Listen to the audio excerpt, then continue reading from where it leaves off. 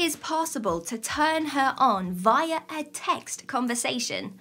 Okay, so we've been talking about a conversation that's taking place when you are face to face, but gents, did you know that you can also turn her on via text too? It can take more time and work, but it is possible. This is handy if you guys don't live in the same city or if you are both busy and cannot see each other for a while.